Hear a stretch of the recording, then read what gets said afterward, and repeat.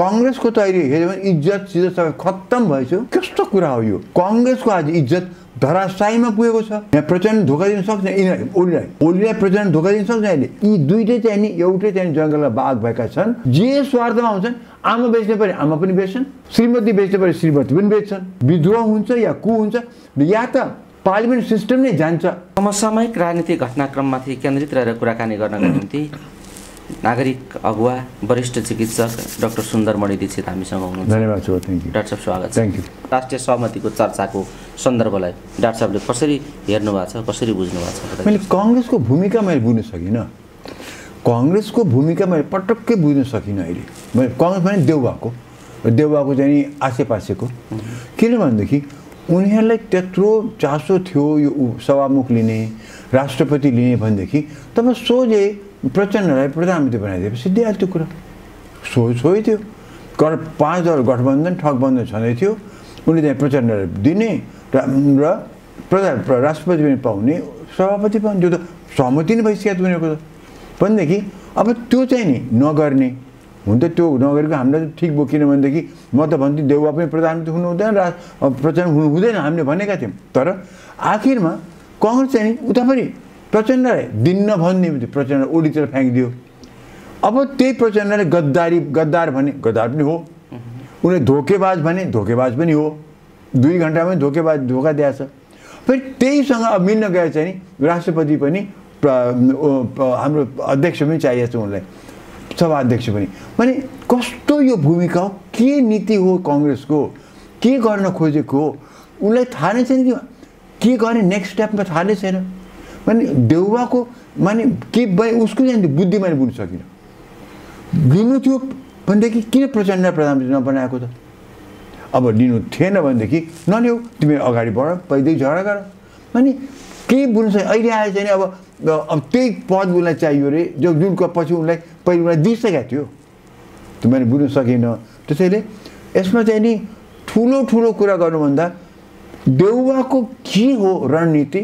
देउवाको उनको बुद्धिको विश्लेषण गर्नुपर्ने अवस्था छ यहाँ। र कङ्ग्रेसको त कङ्ग्रेसको त अहिले हेऱ्यो भने इज्जत सिजत सबै खत्तम भएछ। कङ्ग्रेस सिद्धान्तविहीन विचारविहीन भिजनविहीन कङ्ग्रेस रहेछ भन्ने कुरा त प्रष्टै भयो। कसले गरेर? नेतृत्ववर्गले गरेर। त्यसमा यो देउवाको बुद्धिको विश्लेषण भन्नु संवेदनशील कुरा डाक्टर साहबले राख्नुभयो।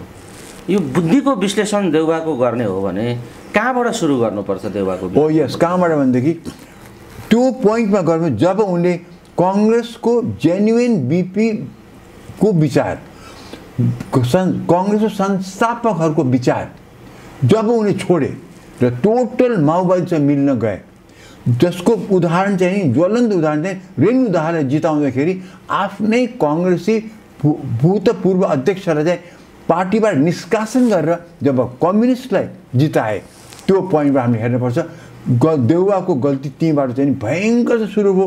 त्यो जुन गठबन्धन गर्यो ए माओवादीसँग त्यहाँबाट हामीले सोच्नुपर्छ त्यहाँबाट बुद्धि भ्रष्ट भएर गएको चाहिँ नि अहिले चाहिँ प्रष्ट देखियो। आज प्रचण्डलाई नदिने भोलि फेरि त्यही प्रचण्ड चाहिँ गुहार मागे चाहिँ राष्ट्रपति चाहिने सभामुख पनि चाहिने कस्तो कुरा हो यो? त्यसैले कङ्ग्रेसको त देउवा र उनका आसेपासेको र त्यही नेतृत्व मा- मातृ नेतृत्व नेतृत्ववर्ग गर्दाखेरि कङ्ग्रेसको आज इज्जत धराशायीमा पुगेको छ। र अब यिनीहरू यति तल झरिसके अब यिनीहरू उठ्न चाहिँ नि जति युवाहरूले कोसिस गरे पनि त्यो कङ्ग्रेस अब जनताको मनमा जनताको शक्तिमा उठाउन अब धेरै समय लाग्नेवाला छ कङ्ग्रेसलाई। अब कङ्ग्रेस उठ्न चाहिँ नि हेर्नुहोस् फर्स्ट पार्टी थियो। फर्स्ट पार्टी थियो जितेको। त्यो फर्स्ट पार्टी आज लास्ट पार्टी हुन गएको छ। भनेदेखि को कस्तो रणनीति हो यो? गर्नेको? त्यो र अझ अगाडि मैले त सुरु गरेँ माओवादी मिलेपछि मि- मिलेपछि। तर अझ अगाडि भने देउवाले अघिल्लो टर्म बस्दाखेरि पदहरू पनि पूर्ति गर्न सकेन कङ्ग्रेसको सबै पदहरू पनि पूर्ति गर्न सकेन र कङ्ग्रेसमा बिल्कुल विभाजन ल्याइदिए। विभाजन यस्तो दिए कि चाहिँ नि त्यो बेलामा त रामचन्द्र पक्ष र देउवा पक्ष भनिएको थियो। अब पछि रामचन्द्र पनि कुहिएर गए। भनेपछि अब अहिले युवाहरूले यतिसम्म सडै गरेको कङ्ग्रेस भइदियो कि चाहिँ नि। अब ती युवाहरू जुन ट्राई गरिरहेछन् तर केही गर्न सक्ने अवस्थामा छैनन्। एकातिर यिनको शक्ति पनि देख्दिनँ म। अर्कोतिर देउवाले यसरी चाहिँ अध्यक्षको यति पावर रहेछ त्यहाँ त्यो केही गर्न सक्ने अवस्था छैन। अब कङ्ग्रेस जुन हालतमा पुगेको छ नि इज्जत इज्जतसित केही बाँकी रहेन अब। अब पक्कै पाउँदैन उसले। त्यो राष्ट्रपति पाउने चान्स पनि छैन सभामुख पाउने चान्स पनि छैन। अगर प्रचण्डले धोका दिएन भने यहाँ प्रचण्ड धोका दिन सक्छ यिनीहरू ओलीलाई ओलीलाई प्रचण्ड धोका दिन सक्छ अहिले? किनभनेदेखि यिनको भित्र तिक्तता छ भए धोका दिन सक्छन् तर नदिउँ दिने बित्तिकै अस्थिर अवस्था आउँछ र भयङ्कर गडबडी हुन्छ। प्रचण्डलाई पनि त्यो पनि मैले अस्ति पनि भनेको थिएँ यो यो ठगी सगी नगर है वा यो चाहिँ यो बठाइ नगर अहिले। जे छ ओलीसँग जे तिमीले जे तिमी सम्झौता अगाडि बढेका थियौ ओलीसँग पक्कै तिम्रो सम्झौता भएको छ राष्ट्रपतिको र सभामुखको बारेमा त्यहाँ जे सम्झौता थियो पुरा गर फेरि कङ्ग्रेसलाई धोका जस्तो गरेर पाँच दल गठबन्धन धोका जस्तो गरेर फेरि गऱ्यो भनेदेखि त प्रचण्ड तिमी पनि खतम यो पनि याद गर यो ठ्याक्कै तपाईँले जे भन्नुभएको छ काहीँ न काहीँ ओलीले प्रवाह गरेका सन्देशहरूमा प्रचण्ड काहीँ न काहीँ बेइमानी गर्न खोजिरहेका छन् हो। भन्ने सन्देश नै ओलीले प्रभावित गरिराखेको छ। किनभने बालुवाटारको सर्वदलीय बैठकमा बैठक नसकिकन ओली भड्किएर बिचबाट उठेर ओली गए भन्ने बाहिर सञ्चार माध्यमहरूमा आयो। प्रचण्ड काङ्ग्रेस अ, को एउटा खालको भूमिकाको अपेक्षा किन बार बार गरिराखेका छन् भन्ने पनि एउटा अहिले जिज्ञासाको विषय छ। बताइदिनुहोस् त प्रचण्डको बाध्यता के हो? त्यो त्यही त पोइन्ट के हो बाध्यता? पहिले बुझेको थिएँ मैले प्रचण्डको कङ्ग्रेसको मिल्ने बाध्यता रेणुदालाई जिताउनु थियो। उनलाई चितवनबाटै लड्नु थियो। र चितवनबाट भरतपुरको मेयर आफ्नो हातमा भयो भनेदेखि चितवनमा उनले जित्न सही हुन्छ भन्ने उनलाई त्यो थियो। त्यो एउटा थियो। प्रचण्डको इन्ट्रेस्ट त्यहाँ थियो। देउवाको इन्ट्रेस्ट हामीले सुनेका थियौँ त्यो बेलामा। डडेलधुरामा उनले जित्न सक्यो किन अघिल्लो पालि झन्डै झन् हारेका थिए त्यही कम्युनिस्टहरू गरेर। गठबन्धन। ओली र प्रचण्ड गठबन्धनले त्यो बेलामा चाहिँ झन्डै हारेका थिए। देउवा तर्सेको थियो। ओगल्टीले चुट्यो कुकुरेस भएको थियो। त्यसले देउवाको इन्ट्रेस्ट पनि त्यहाँ थियो। यतिसम्म चाहिँ आफ्नो भूतपूर्व अध्यक्षलाई निष्कासन गरेर रेणुनाथ दाहाललाई जिताए। र प्रचण्डले पनि एनी हाउ रेणुनाथ दाहाललाई जिताउनुको लागि गरेको। सो त्यहाँबाट जुन सुरु भयो यिनीहरूको यो प्रेम वार्ता त्यो प्रेमालाप अहिलेसम्म चलेको छ। अब अहिले आएर चाहिँ प्योर एन्ड सिम्पल अहिले त सोध्नु चाहिँ मलाई चाहिँ नि अहिले के भने स्वार्थै हो। कुनै फिलोसफी सिद्धान्त स्वार्थै हो प्रचण्डलाई एनी हाउ प्रधानमन्त्री हुनु थियो। देवासँग एकदम मिलेर गयो बिस वर्ष गठबन्धन चलाउँछु भनेका थिए। त्यो पनि भएन। तर जब देउवाले त्यो स्वार्थमा धक्का दियो उनी त्यो स्वार्थ पूर्तिको लागि चट्ट धोकै दिएर ओलीसँग मिल्न गयो यता पनि गठबन्धनलाई धोका दिएका हुन् देउवालाई पनि धोका दिए। तर त्यो पनि देखेँ जान त गएँ।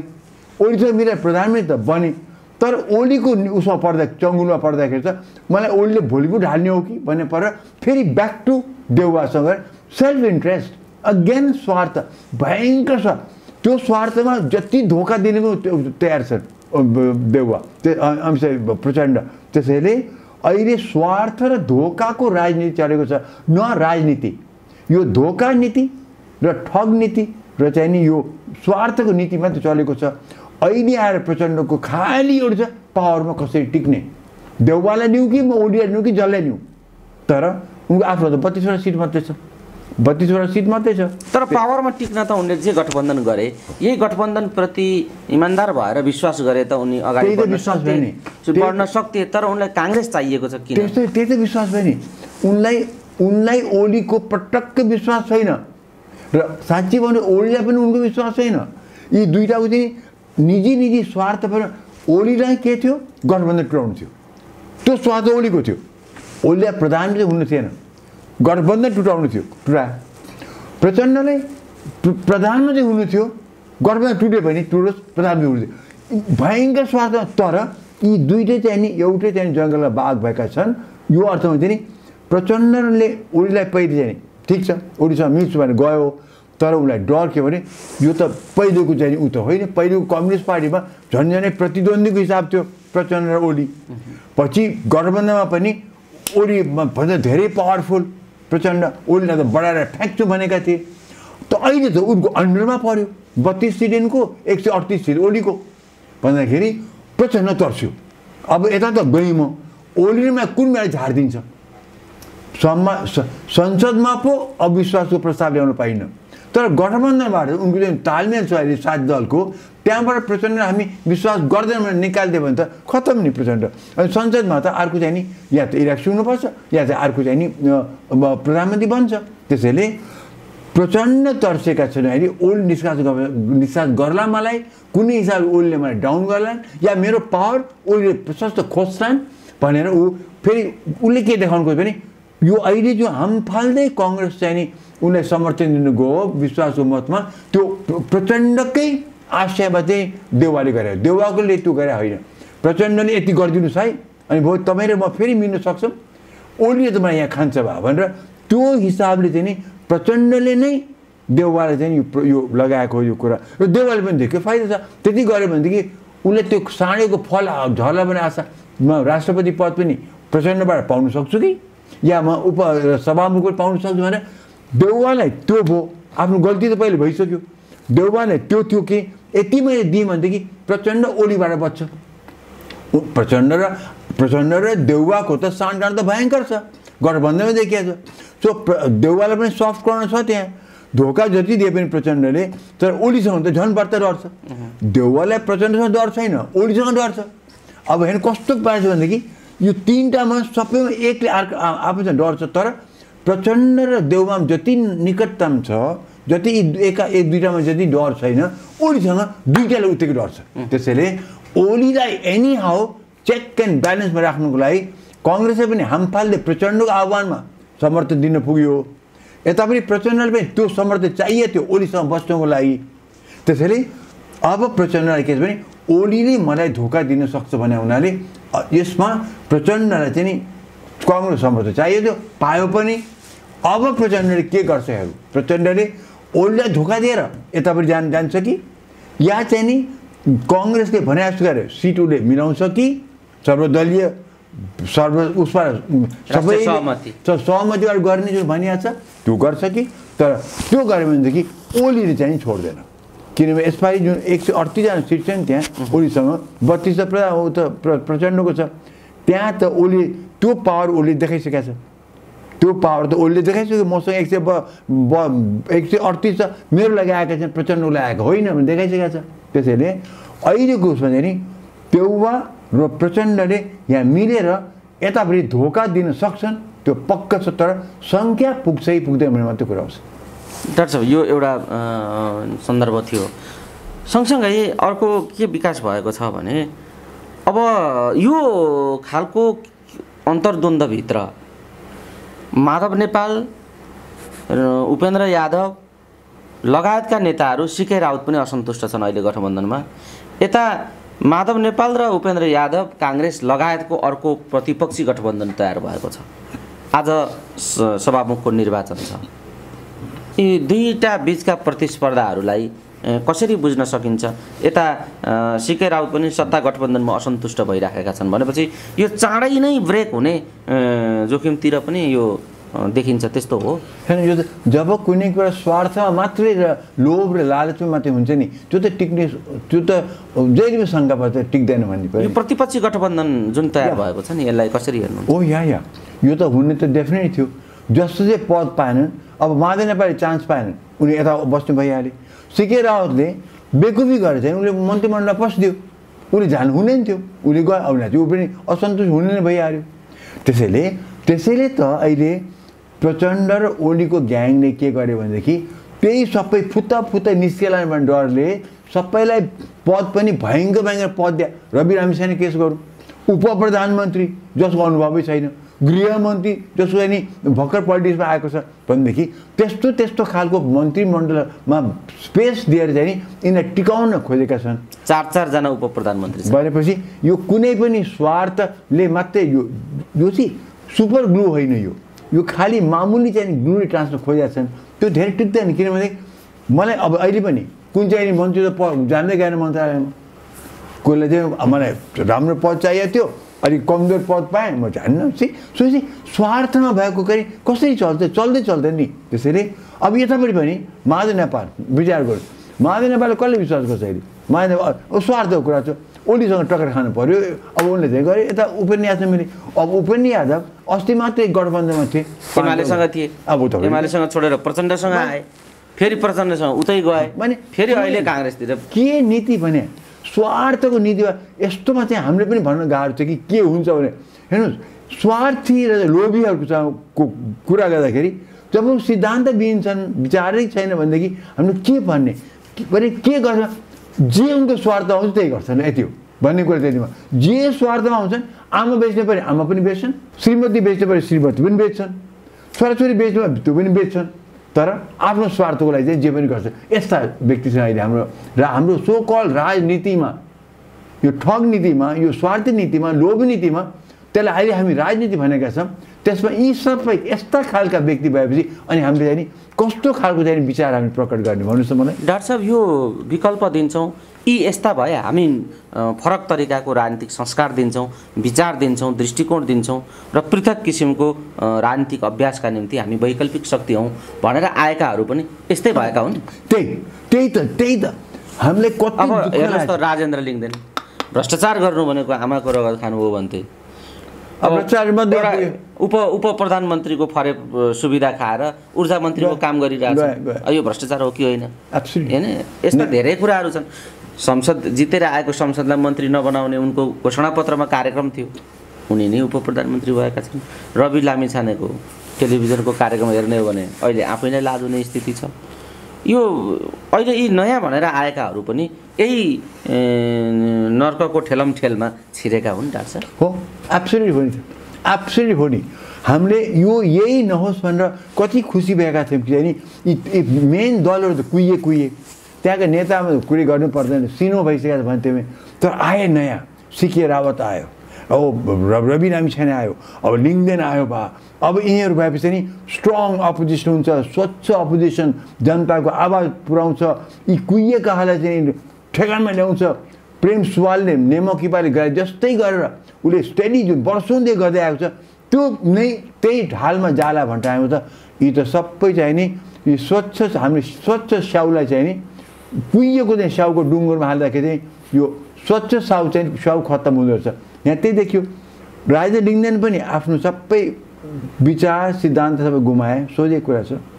रवि रामसँग त कुरै नगरौँ उनको त आफ्नै नेतृ- नेतृत्वको प्रश्न छ। उनले आफैले चाहिँ जे जे गरिरहेको छ अहिले उनको नागरिकताको प्रश्न ठुलो प्रश्न आइसकेको छ। र मुद्दा त चलि रहेको सुप्रिम कोर्टमा। र सुप्रिम कोर्टमा मुद्दा भएपछि न त उनलाई मन्त्री बनाउनुहुन्थ्यो न त उनले मन्त्री एक्सेप्ट गर्नुहुन्थ्यो। त्यो उनले क्लियर नगरी हुँदैन थियो नम्बर त्यो पनि गरेँ। त्यसै कारण यो सी तपाईँ जो भन्यो भने गर्लान् भनेर आशा गरेको त सबै कुहे होइन मलाई त कस्तो भएको छ भने एक जमानामा कङ्ग्रेसी आए। म त सानै थिएँ गर्लान् भनेर आहा एमाले आएपछि ओहो ल एमाले गर्ला बा माओवादी त ओहो अब यिनीहरू आएपछि भ्रष्टाचारीले खत्तम पार्छन् सबै त्यो पनि भएन। अब अहिले आए चाहिँ नि यो केही गर्लान् भनेर त यिनीहरू पनि सबै चाहिँ नि बिल्कुल सिद्धान्तविहीन भइदिए। कुनै विचार छैन भिजन छैन र चाहिँ नि अहिले चाहिँ नि भ्रष्टाचार गर्दिनँ भन्छ त्यो भ्रष्टाचार डुङ्गुरमै पसेको छ भन्नुहोस् न मलाई अनि के भन्ने? भ्रष्टाचार चाहिँ गर्नु भने आमाको रगत खानु। तर चाहिँ नि त्यो त डुङ्गुरै छैन भ्रष्टाचार यहाँ त। त्यो के गरे त्यो? त्यहाँदेखि यो त यो यो भएन कि? कम्प्लिटली चाहिँ नि माने हामी नेपालीहरूले दुःख पाउने देख्छु। हामीले चाहिँ दुःख गरेर भोट गर्छौँ। हामी दुःख गरेर चाहिँ मान्छेले सम्झाउनु खोज्छौँ। तर त्यो सम्झिने अवस्थामा कोही रहन्छ किनभने सबै स्वार्थमा यति छिटो स्वार्थमा लोभमा फसिहाल्दो रहेछ म मन्त्री भए अब जसको अनुभव नै छैन कसैलाई पनि ऊ सट्ट मन्त्री नै भइहाल्ने त्यो अफर गर्दाखेरि नाइ भन्नु पर्छ पर्दैन मलाई यही मेचमा यही मेचमा कुनै दिन कुनै ठुलै व्यक्तिले चाहिँ मलाई पद अफर गर्न आएको थियो यही मेचमा बसेर मैले त्यो मेरो काम पनि होइन मेरो त्यो क्षमता पनि छैन म डाक्टर हुँ म डाक्टर मान्छे हुँ मेरो काम पेसन त्यो मेरो मेरो पढाइ पनि छ मेरो अनुभव पनि छ मेरो त्यो म सक्छु।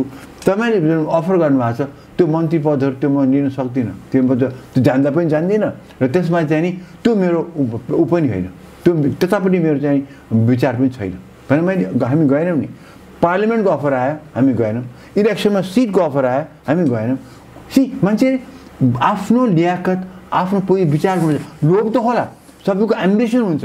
म ठुलो मलाई मन्त्री हुनु छ प्रधानमन्त्री भन्नु लोभ त होला बाबा सबै एम्बिसन हुन्छ नि।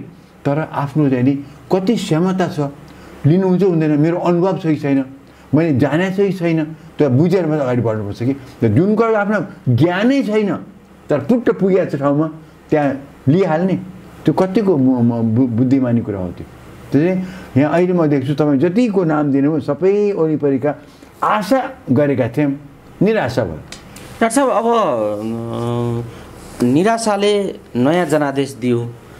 त्यो आशामा बदलिन्छन् कि यिनीहरू चाहिँ केही राम्रो पक्षमा जनताको पक्षमा हाम्रो पक्षमा काम गरिदिन्छन् कि भन्ने अपेक्षा राखेर जनताले जुन खालको मत दिएर नयाँ पार्टीहरूलाई पनि स्थापित गरे राष्ट्रिय पार्टी बनाइदिए। दस दस सिट जितेर माधव नेपालको राष्ट्रिय पार्टी हुन सकेन। तर एक सिट जितेर दुई सिट जितेर सिके राउतहरूको पार्टी राष्ट्रिय पार्टी भयो।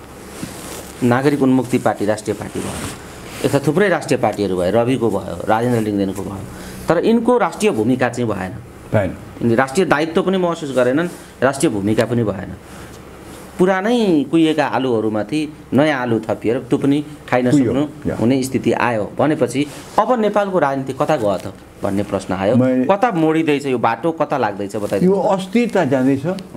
हामीले अहिले पनि निकास पाएका छैनौँ।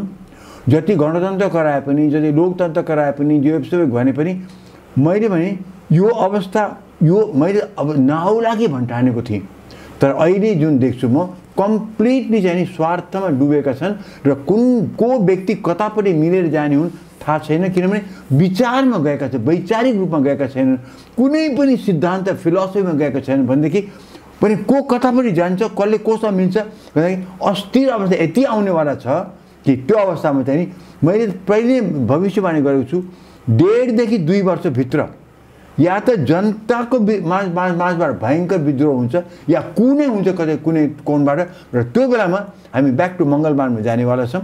किनभने यी नेताहरू जो देखिए जो पहिले कुहिएका सडेका त हामीले विश्वासै थिएन आशै थिएन। यी नयाँ जुन उब्जे जसले पठायौँ हामीले हामीले नै आफ्नो चाहिँ नि आफ्नो आफ्नो चाहिँ भनेर कुनै पार्टी मन पर्थ्यो अरे। त मैले नदिएर आज यहाँ दिएको छु। त्यहाँ दिँदाखेरि पनि जुन अवस्थामा दिँदैछु कि हाम्रो पनि गल्ती भएको छ भने मैले परिचय त्यसैले यो हुँदै चल्दैन। र त्यो आखिरमा गएर विद्रोह हुन्छ या कु हुन्छ या त पार्लिमेन्ट सिस्टम नै जान्छ अर्कोतिर डिक्टेटरसिप जान्छ। कि चाहिँ नि यो फ्याँकेर हामीले चाहिँ नि प्रेसिडेन्सियल सिस्टममा डेमोक्रेसी भित्रबाट के आउने हो भनेदेखि हामी राष्ट्र आधिकारिक राष्ट्रपति नै कार्यकारी राष्ट्रपति त्यो जानुपर्छ हामीले। होइन यसबाट बाहिरबाट गयो त फेरि अर्को त डिक्टेटरसिप आएपछि त्यो त फेरि डिक् त्यो डेमोक्रेसी बाहिरबाट आउने भएको छ त्यो हामीलाई झन् खतरा हुन्छ। तर हुनेवाला चाहिँ छ। कि यो कि त्यो। अब हामीले विचार गर्नु पऱ्यो प्रचण्डले भनेकै थिए म कार्यकारी राष्ट्रपतिलाई इलेक्सन लडेपछि आएपछि म गर्छु भनेको त खोइ त। कहाँ पुग्यो? त्यो चाहिँ प्रधानमन्त्री पाइन भने मात्रै गर्छु एक्ज्याक्टली प्रधानमन्त्री त्यही त देखियो नि। प्रधानमन्त्री पाएन भने गर्छु। गर्छु। प्रधानमन्त्री पाएँ भने किन दिने मैले उप प्रधानमन्त्री पाएँ भने पाइन भने मात्रै संसदलाई मन्त्री बनाउनु हुँदैन भन्ने रहेछ राजेन्द्र आफूले पाएपछि हुन्छ भन्ने रहेछ। यस्तै देखियो डाक्टर तर डाक्टर साहबले जुन जोखिम अम्ल्याइदिनु भयो नि यो प्रणालीमाथि संसदीय व्यवस्थामाथि नै आएको जुन खडा भएको स्थिति छ यस्तो बेला सभामुख एमाले प्राप्त गरेको छ। यी सभामुखले यो सङ्गीन संसदीय प्रणालीको सङ्गीन घडीमा सभामुख बन्ने एउटा त्यो भुतले खाजा खाने बेला भने जस्तो तपाईँले भनेको कुरालाई आधार मान्ने हो भने त्यस्तो जोखिमको बेला उनी सभामुख बन्दैछन्। यो एमालेका पात्र र प्रतिनिधिबाट जसले सभामुख हासिल गरे उनले यो गरिमा थेक्न सक्छन्? तपाईँलाई त्यस्तो लाग्छ? अब हेर्नुहोस् व्यक्तिको कुरा गर्ने हो भने व्यक्तिको क्षमता चाहिँ नि हुनसक्छ वा? हामी हामी देख्यौँ घरतीको पनि देखेको थियौँ राम्रो चलाएको थियो। यी देवराजले धान्ला नि त्यो गरिमा? त्यो यो चाहिँ अहिले व्यक्ति सी पार्टीको सिद्धान्त भने एउटा हुन्छ। कमसेकम एमाले नै एउटा सिद्धान्त चलेको चाहिँ छ। त्यो हामी देख्यौँ। त्यो त प्रश्न देखियो। स्थानीय चुनाव पार्लिमेन्टको चुनाव र ओलीको जुन त्यो जुन लाइनमा चले के देखेको भने कमसेकम एउटा पार्टी छ जसले चाहिँ आफ्नो विचार र सिद्धान्त चलेको छ। अलिकति चोइटेको गए तापनि। त्यो आधारमा यो व्यक्ति जो आएको छ एमालेबाट आएको हुनाले चाहिँ नि मेबी मेबी चाहिँ नि एमालेको सिद्धान्तमा अगाडि बढ्यो भनेदेखि उसले क्षमता आफ्नो क्षमता देखाउन सक्छ। किनभने म के देखाएको छु भने अहिले कुरा प्रश्न उठाएको छ यतिवटा नयाँ मन्त्रीहरू आएको छन् अनुभवहीन छन् के होला त? मैले पनि व्यक्ति व्यक्ति हो भनेदेखि व्यक्तिको काम भन्यो भनेदेखि मेबी सक्छन्। तर व्यक्तिलाई त यस्तो प्रणालीमा त पार्टीको चाहिँ ऊ चाहिन्छ पार्टीको ब्याकिङ पार्टीको ब्याकिङ विचार हो। सिद्धान्त हो फिलोसफी हो। त्यो सिद्धान्त नै पार्टीकै छैन भनेदेखि त्यो व्यक्ति आखिरमा त असफल हुन्छ। अब यहाँ यो सभामुख चाहिँ नि एमालेको हो भनेदेखि एमालेको त एउटा विचार सिद्धान्त अडेको छ भए त्यसैले यो मान्छे आफ्नो निजी क्षमता छ भनेदेखि उसलाई ब्याकिङ चाहिँ नि छ। त्यसै त्यो ब्याकिङ भएको हुनाले र उसले क्षमता देखाउन सक्यो भनेदेखि उसले चलाउन सक्छ। अब त्यो हाम्रो यो अनरुली संस्था जो संसद सांसदहरू छन् सिद्धान्तविहीनका जुन सांसदहरू बनेका छन् तिनले कसै अगाडि बढाउँछ त्यो भिन्नै कुरा हो। तर व्यक्ति जुन आएको छ आज सभामुखमा जुन भन्नुभयो एमालेको छ भनेदेखि एज अ व्यक्ति उसले कसो गर्छ त्यो उसले उसको क्षमतामा डिपेन्ड गर्छ। जो पनि पदमा गर्न सक्छन् तर लक्किली फरस उसको ब्याकिङ चाहिँ नि एउटा सिद्धान्त भएको पार्टीले ब्याकिङ गरेर हुनाले चाहिँ मेबी मेबी केही गर्न सक्ला भन्ने आशा गरौँ हामी। आशा चाहिँ गरौँ। डाक्टर साहब तपाईँले धेरै खालको यो प्रणालीमा धेरै खालका सभामुखहरू देख्नुभयो। हो। विभिन्न कालखण्डमा विभिन्न सभामुखहरू देख्नुभयो। रामचन्द्रदेखि दमननाथ ढुङ्गानादेखि अग्नि सापकोटादेखि आज देवराज घिमिरेसम्म देखियो। यसमा बा यो संसदीय व्यवस्था र प्रणालीलाई बुझेर संसदको गरिमालाई बुझेर यो प्रणालीको गरिमालाई बुझेर भूमिका खेलेको एउटा नमुना सभामुखको रूपमा लिनुपर्दा तपाईँ कसलाई लिनुहुन्छ? दमना ढुङ्गाना। डेफिनेट दमना ढुङ्गाना हो। बुझेर प्रणाली बुझेर जेन्युन लोकतन्त्र सबै लोकतन्त्रको बारेमा बुझेर जानेर गरेकोमा दमना ढुङ्गा नै हो नम्बर वान बाँकी त अब रामचन्द्र पौडेल प्योर पार्टीबाट गएका हुन् के हुन्? दमना पनि पार्टीबाट आएका हुन् त उनी चाहिँ डेफिनेटली एउटा डेफिनेटली चाहिँ बुझेको यो सिस्टम बुझेको व्यक्ति दमननाथ ढुङ्गाना हो। अघि सामकुरा त त्यो बर्बादै गरे उनी त उनी त प- उनी ए- माओवादीबाट गएका त्यो यसै पार्टीको विचार लिएरै बस्ने व्यक्ति एउटा हुन्छ। दमननाथ ढुङ्गा जब त्यहाँ गए नि त उनी चाहिँ पार्टीको विचार लिएर गर्छ। उनी जेन्युनली इन्डिपेन्डेन्ट न्युट्रल भएर बसेका हुन्। र जाने बुझे गएका छ। सो दमननाथमा चाहिँ कुनै दाग पनि लागेन नि त। रामचन्द्र प्योर पार्टी वाइज गए। अग्निसारमा कुरै नगरौँ। यो व्यक्ति यहाँ फेरि कसरी आएको छ? ऊ आएको छ तर कसरी बिहेभ गर्छ हेरौँ न हामी। तर यी मध्येमा डेफिनेटली अहिले सबै मध्येमा दमना ढुङ्गा is was the ideal doctor साहब यो कस्तो अपेक्षा गरिन्छ सभामुखको भूमिकाको अपेक्षा न्युट्रल एकदम न्युट्रलसँग अगाडि बढ्ने न्युट्रल बस सुन्न सक्ने बसलाई कहाँ रोक्न सक्ने माने उसले चाहिँ नि एउटा कन्ट्रोल हाउसलाई कन्ट्रोल गर्न सक्ने त्यो क्षमता चाहिन्छ। त्यसको लागि उसको आफ्नै स्टेचर पनि हुनुपर्छ। अब यो जुन नयाँ सभामुख आएको छ अहिले उनको स्टेचर अहिले छैन। त्यो स्टेचर बनाउन सक्नु पऱ्यो दमनमा ढुङ्गा आउँदाखेरि उनको स्टेचर एउटा थियो। स्टेचर एउटा चाहिन्छ। त्यो स्टेचर चाहिँ नि मान्छेले उनलाई इज्जत गर्छ त्यहाँदेखि उनले रुलिङ दिएपछि एक्सेप्ट गर्छन्। बुझ्नु तर त्यसको लागि चाहिँ नि उसले आफ्नो न्युट्रालिटी देखाउनुपर्छ निष्पक्ष देखाउनुपर्छ र उनले हरेक इस्युमा कति बुद्धिमानीसँग अगाडि बढ्छन् त्यो डिपेन्ड गर्छ भयो र त्यसमाथि उनको आफ्नो विचार आफ्नो सिद्धान्त सबै त्यसमा खेल्छ। इन सर्ट एउटा पर्सनालिटी क्यारिजमा भएको पर्सनालिटी लोकतन्त्रमा भिजेको पर्सनालिटी र बिल्कुल न्युट्रल भएर सबैले सम व्यवहार गर्न सक्ने एउटै दल दल- दलको एउटै क्यान्डिडेट भए पनि या पुरा कन्ट्रोल हाउस कन्ट्रोल गर्ने दल भए पनि उनले चाहिँ सबैलाई व्यवहार समूह गरेर सबैको सबैको काम कुरा चाहिँ सुनाउन सक्ने जनतालाई त्यो हिसाब चल्नुपर्छ त्यस्तो खालको व्यक्ति हामीलाई चाहिएको छ। अब अहिले त्यो यो व्यक्ति आएको व्यक्ति त्यस्तो हुन्छ कि हुँदैन भन्न सक्दिनँ। तर यो खिचातानीमा आएको सबै कुरा भाग बन्नमा आएको सबै कुरामा चाहिँ नि त्यो भाग बन्नमा आउने बित्तिकै चाहिँ नि कहिले पनि right man in the right position usually पुग्दैन कि भाग बन्नबाट आउने बित्तिकै चाहिँ नि युजली भाग बन्नमा जस्तो भन्न रामवरण यादव त्यो एक प्रकारले भन्यो भने उसलाई चाहिँ नि पठाएको चाहिँ जित्यो इक्जाम्पल दिउँ नि त्यसैले भाग बन्नबाट आएको युज हुँदैन क्षमताबाट आएको जेन्युन चाहिँ त्यो यो पदलाई यो मान्छे ठिक छ भने आएको एउटा कुरा हुन्छ तर भाग बन्नबाट पार्टीले चट्ट छानेर पठाएको व्यक्ति युजली चाहिँ नि त्यति ठिक चाहिँ हुँदैन जे भए पनि अब हेरौँ अगाडि बढौँ तर दमननाथ ढुङ्गा जस्तो एउटा भए चाहिँ राम्रो हो। डाक्टर साहब हामी कुराकानीको अन्तिम चरणमा छौँ। जाँदा जाँदै जुन खालको परिदृश्य र परिवेश तयार भएको छ आम नागरिकहरूलाई जनताहरूलाई तपाईँ के अपिल गर्न चाहनुहुन्छ? म त भन्छु कि जनताले चाहिँ नि धैर्य गर। आशा खास मलाई केही पनि छैन अहिले। आशा निराशामा एकदमै एकदमै चेन्ज भएको छ मेरो।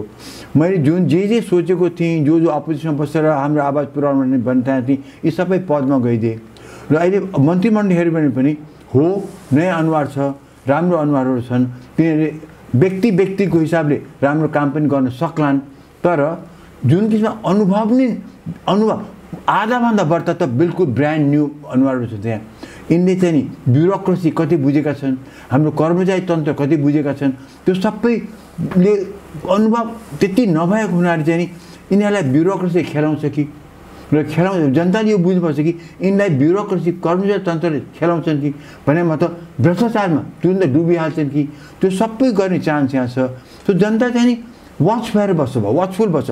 अब अहिले इलेक्सन गरेपछि मन्त्रीमण्डल बन्यो निर्धक्क भएर अब यिनले गरे भनेर त्यो अवस्थामा जनता बस्नु हुँदैन जनता सतर्क नै भएर बस्नुपर्छ कुन बेला के गर्नुपर्ने हो जनताले त्यो त्यतिसम्म अझ पनि बलिदान गर्ने अवस्था चाहिँ आउँछ कि भन्ने चाहिँ जनता बसे हुन्छ किनभने मेरो विचारमा यो स्थिरतातिर गएको छैन इलेक्सन जहाँ पनि इलेक्सन गरेर अब यो आयो अब हामीले ल अब चाहिँ नि गरे अब हामी आफ्नो कामतिर लागु भने त्यो अवस्था अहिले हाम्रो नेपालमा आएको जस्तो मलाई लाग्दैन जनता सतर्क हुनु वाचफुल हुनु गलत दिशामा गएको देख्यो भनेदेखि जनता फेरि बिस्तारै उठेर आवाज अगाडि अगाडि ल्याउनुपर्छ आवाज मात्रै होइन पऱ्यो भने सडकमा उत्रिनुपर्छ।